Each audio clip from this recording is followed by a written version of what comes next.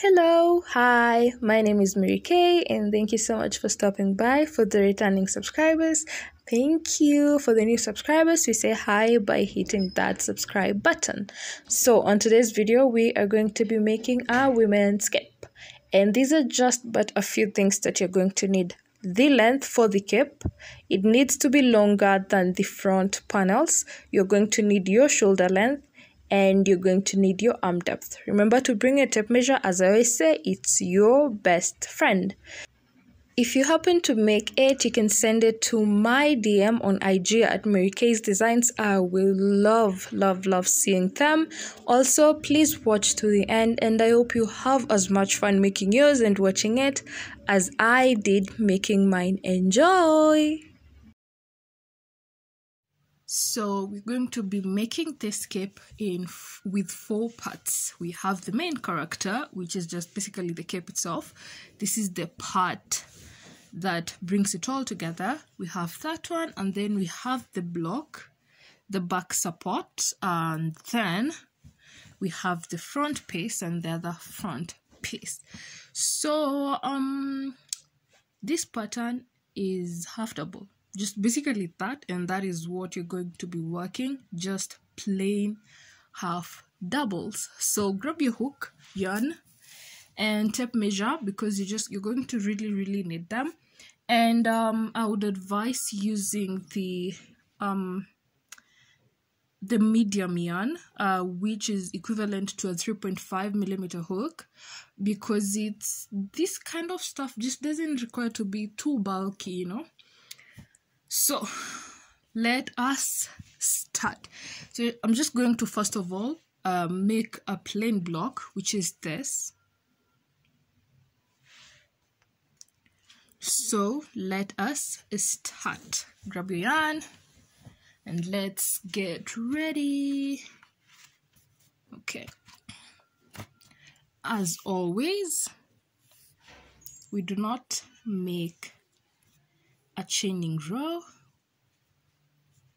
We work the first row and the chaining row together like bosses. So it saves a lot of time a lot of calculations and just basically it's a time saver. So let us start. You have your slip knot chain three. That is the only chaining we'll be doing. After you've chained three going to yarn over and insert your hook in the very first stitch that you made, the one that is very farthest from you. Yarn over, pull through it. You're going to have three loops on your hook. Yarn over, pull through just the first one and then yarn over and pull through everything to make your half double. Now the first yarn over we did that was our chaining row and then the three that we pulled that was our half double. Now that is just the first stitch. The next stitch you're going to yarn over twist your work. There will be some two loops at the very end. Insert your hook yarn over pull through. Three loops on your hook yarn over pull through the first one to make your chaining row and then yarn over to make your half double for the first row. Last time yarn over twist your work. And then just insert in the two loops you can see at the edge both loops. Then yarn over pull through three loops on your hook yarn over pull through the first one to make a chaining row and then we make our half double. So that is just basically it. Now here's what i need to tell you and warn you about. This pattern is going to decrease. So just as you make um okay one of the rules that you have to follow first of all is the back should be longer in length than the front and uh, this is my back and front. It's just this is my back then this is my wait this is my back this is my front. And that is just the length difference. It's just tiny but it's there and that's what i want you to consider. Now when we are working through the back loops it's going to decrease. That is just a given fact. You're going to have a bit of decrease in inches and Would calculate it within one, one and a half, or one to two inches. So keep an eye out on that. Now, you're going to make these stitches to the length that you need, whether it's the front or whether it's the back.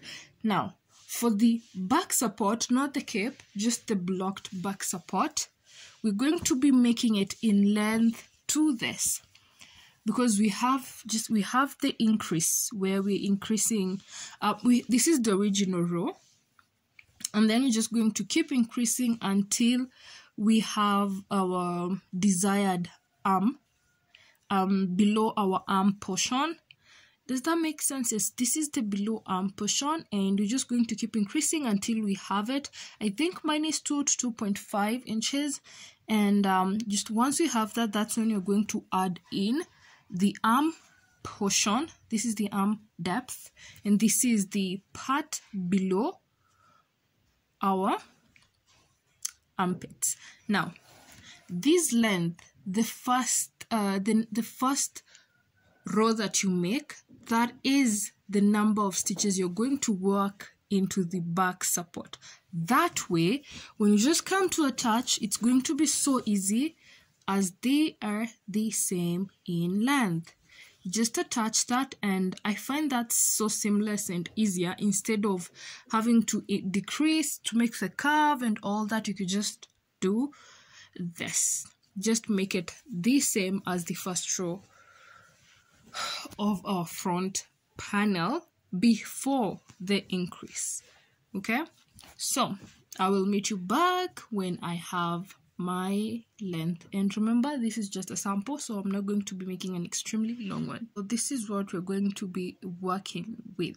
Now one thing i need you to know is um for the back support when you have the length like i've explained you're not going to do any increases or decreases. You're just going to turn your work and work through back loops until you have your back length that's it. So it's just it's just going to be a plain um a plain block. No increases just no decreases. In short what i mean is the same way you go, we're going to work in through our shoulder panel shoulder length that is what you're just going to do ignoring the increases. There is no increases or decreases in the back support panel now let us just start with let us start now with increasing um for our uh, below the armpit. Now what we are going to do here with the increasing is the same thing we're going to do on this other side.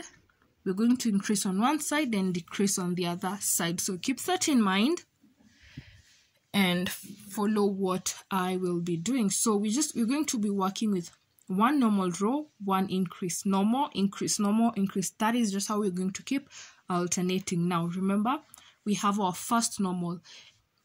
Just as a reminder, the length that you have right now, measure it and then just continue and add around 2 inches because like I said, this is going to shrink and you're going to be left with just less inches than you expected. So we've done our normal row we're alternating to our increasing row. Chain one turn your work and like i just i said before i always prefer chaining one because when i chain two it confuses me a lot. So i'm going to chain one then yarn over.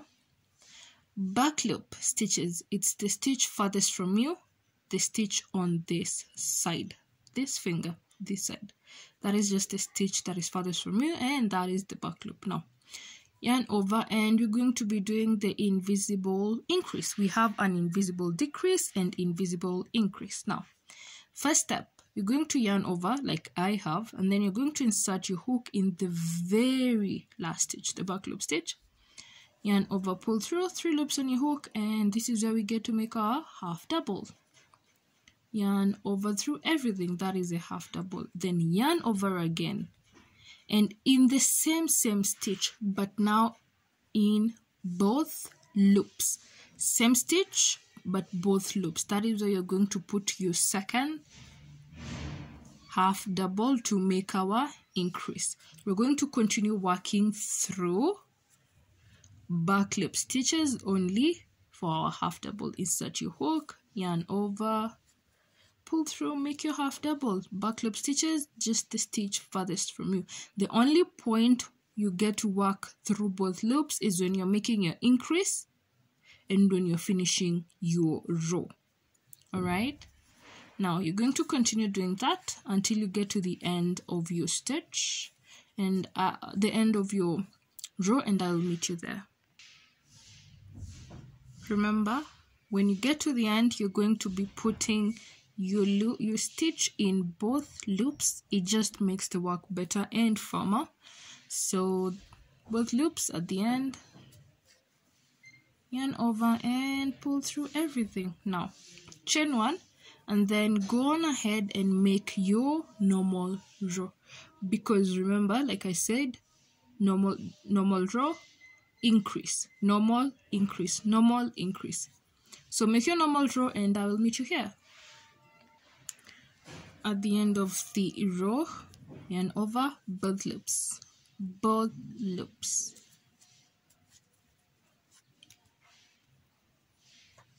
chain one. Turn your work. Remember now this is the increasing row. Yarn over.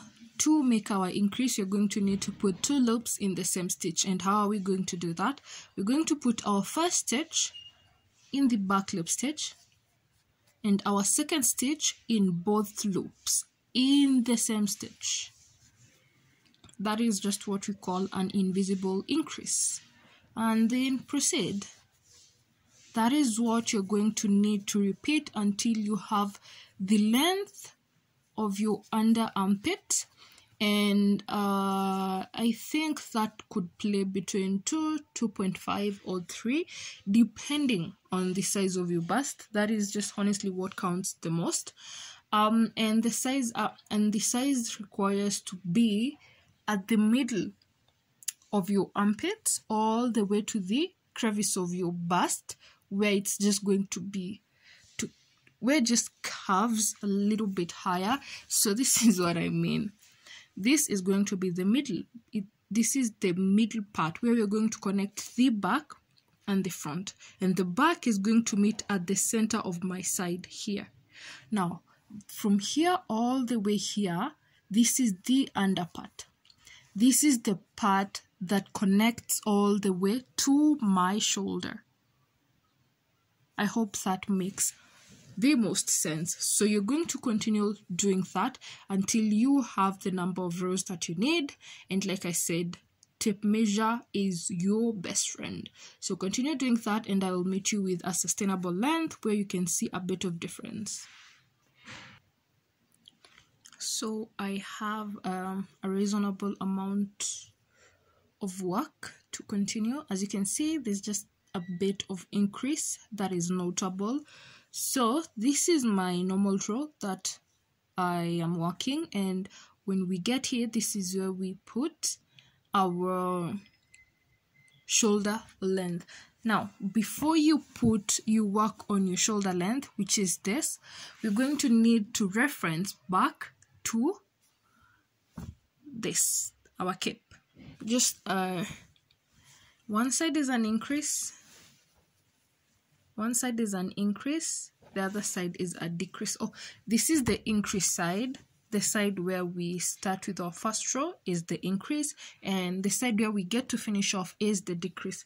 Now just the length from uh, where we start all the way to where we increased is equivalent to half of your um, arm depth or circumference of your arm. So um when I make sweaters and I mean circumference like this, but now on your what is it called? Between your shoulder and your elbow, that part. So my circumference like this is normally just either 12 or 11 depends with the type of pattern because just like this pattern this stretches a lot so just i'll do like 12 now what i did was I divided it by 2 and I got 6. In the length increase, we're going to continue making the 6 inches that we have divided. So if your circumference is 16, you're going to divide it by 2 and you will make 8 inches of increase. So, since we are in understanding or in matters of the length for your arm depth, we are going to start making the arm depth. Now, I'll just put my last stitch here. Remember, both loops. That is the last stitch.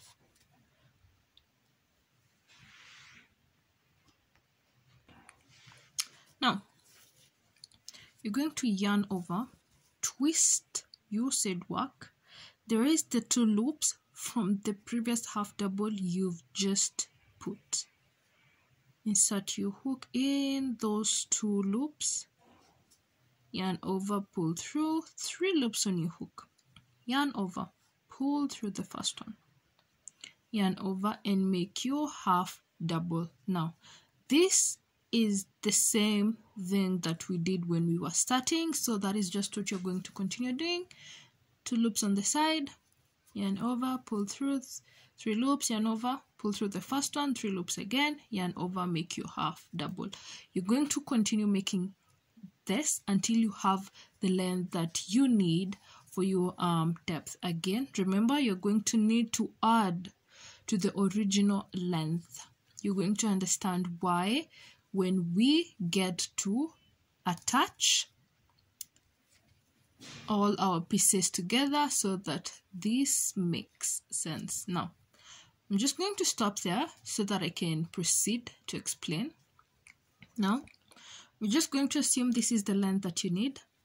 When you get to the end, yarn over, uh, make uh, one stitch, just your work, now, this is just where we get to work on plain rows. There's no increase, there's no decrease, just normal rows. And I love normal rows. Back loop stitches only row after row until you have your shoulder length. Row after row after row until you have this. Now, just this is what I need. This is what you need. Your shoulder length remember we started by increasing and then we've just worked our arm depth with an increase and then we're going to work just on our shoulder length. We are done with the front panel both front panels left and right. This is done. Now just this normal rows that you're going to be making is the same thing I said you're going to do in our back support it's just basically a block. As you can see there's no increases no decreases. It's just a normal block. That is what you're going to do.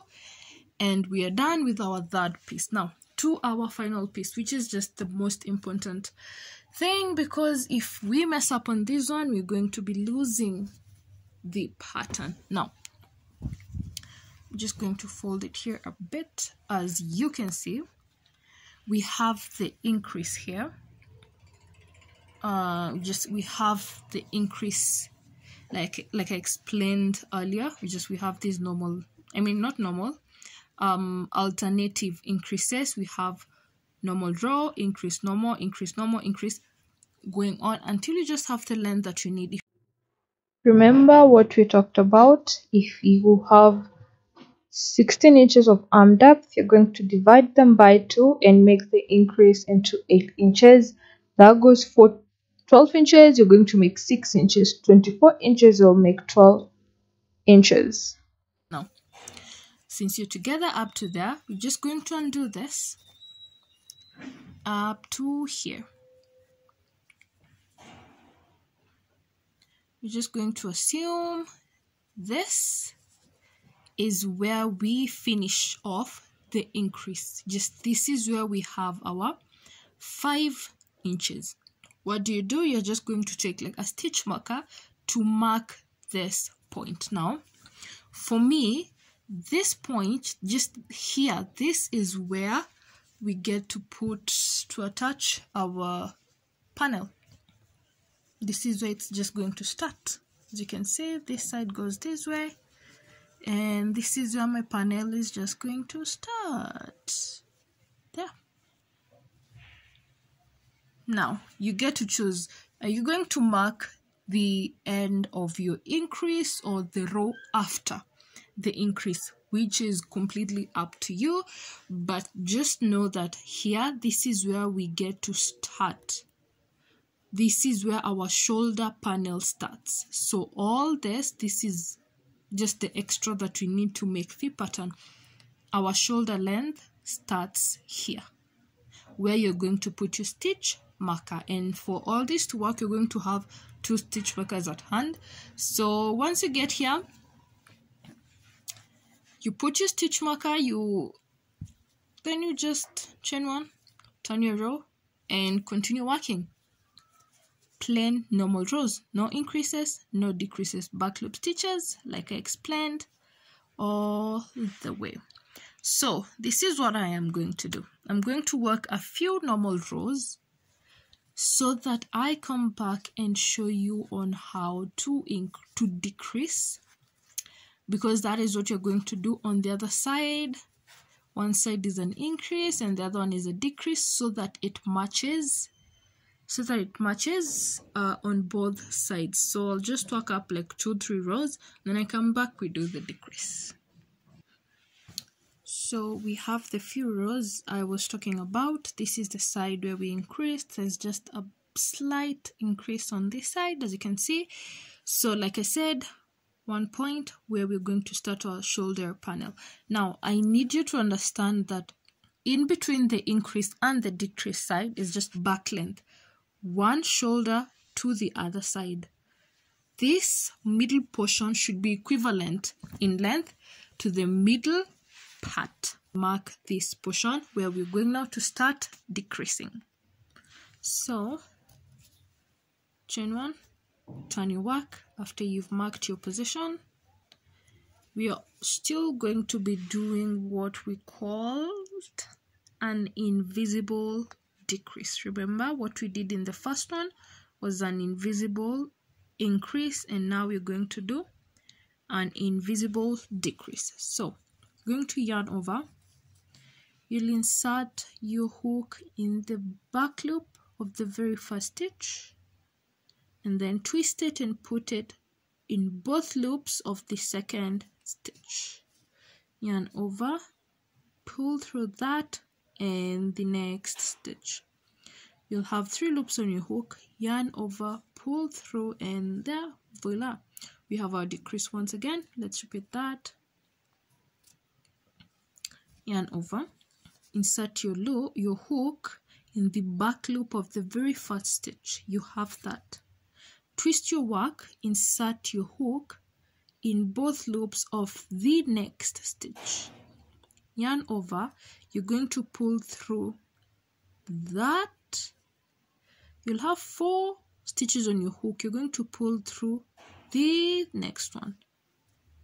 Three stitches then you make your half double and then you proceed with normal stitches in back loop now next row remember is e a plain normal row no decrease.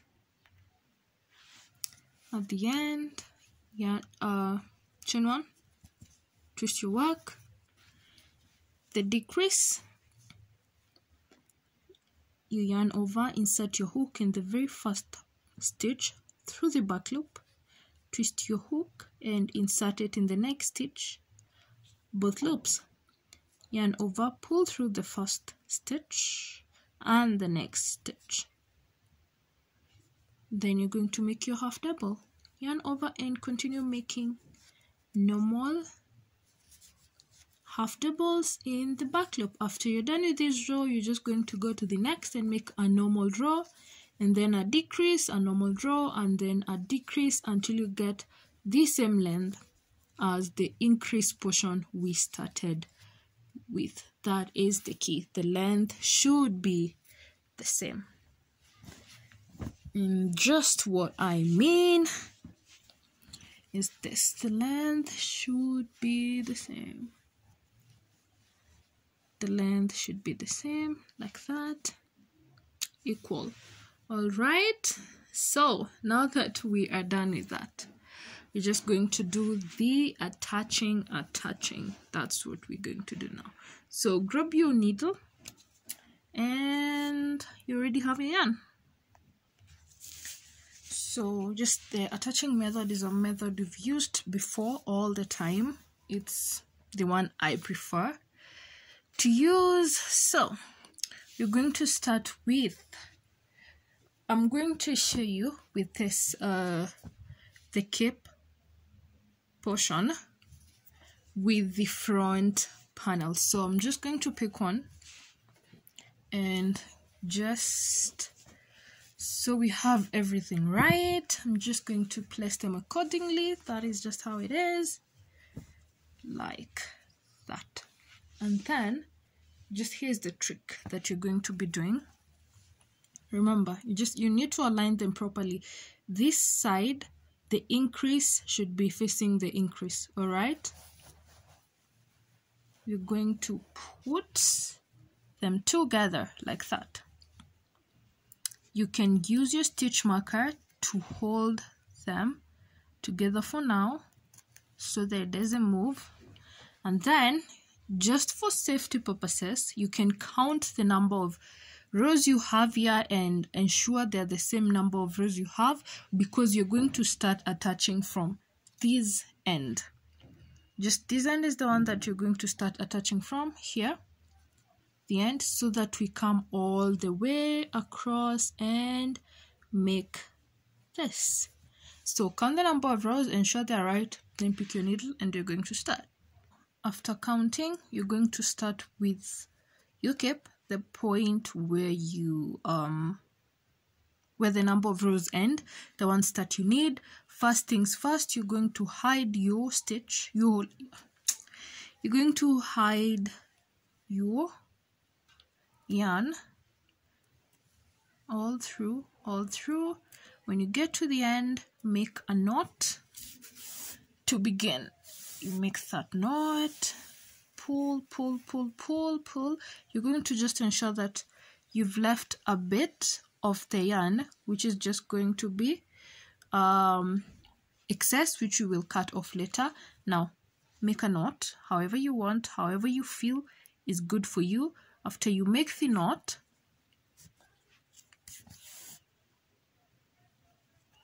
you're going to pull your yarn blah blah blah and all that now now just this is where the real deal is. We're going to be alternating between the front and the back. For now we start here.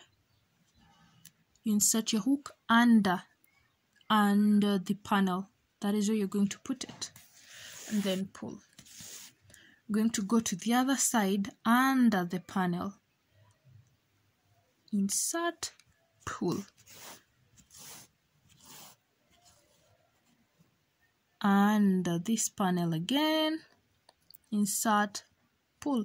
The needle should be coming out towards you. And then on the other side it should be going outside far from you. Should be going like that. And I still don't know the name of this method of attaching. And if you know please do tell me. I've been asking and nobody tells me but if you're watching and you know just please holler. Tell me. So you're going to continue doing that. And I would love to state that this is just not the only method. There are so many other methods of attaching that you could use. But this is my preferred method because it doesn't have a front or back. All sides are clean and can be worn. So you're just going to continue until you get to the edge here which is where I'm going to meet you here we are so we've just done that attached those two and moving on. This is the either the increase or the decrease part depending on which side you're doing. Now what you're going to do because you've just ended here you can go ahead and fasten this stitch this um stitch here or you can make a knot however you want or you could just continue if you're sure it's secure what you do now because we've already gotten here you're going to fold it just slightly until you know it's straight. Once it is you're just now going to continue by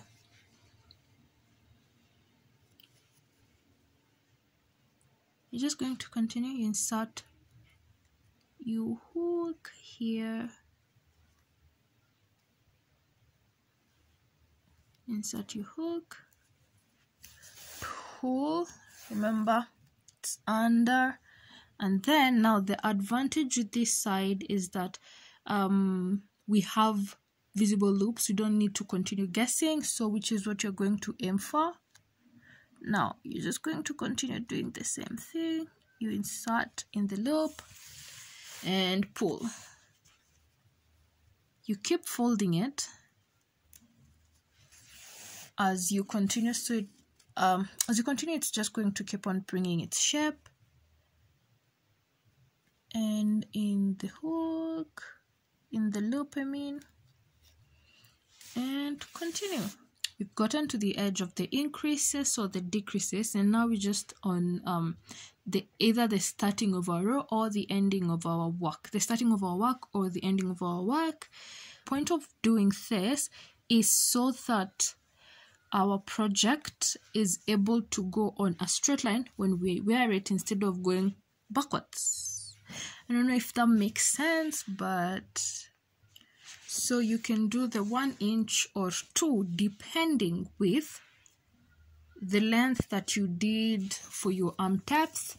Remember, the only reason why we just we need to do this, we um needed to increase the length of our arm taps is because we need that remaining portion on uh, the cape where your hand is visible where, where your hand is seen because you cannot attach all the way to the edge. Here we just need a bit of space where your hand is visible. So you can go on and try yours and see if you do one inch it's going to be as straight as you want it. If it's not you can just continue and do like up to here. As long as you see you have a visible point this part as long as you have just a bit remainder of it should be more than one inch then continue stitching and attaching now it has to be either one inch or more I'm so happy you're here. So, thank you so much for watching to the end. I hope you'll have as much fun making yours. I will see you next week. And again, thank you for tuning in. Bye.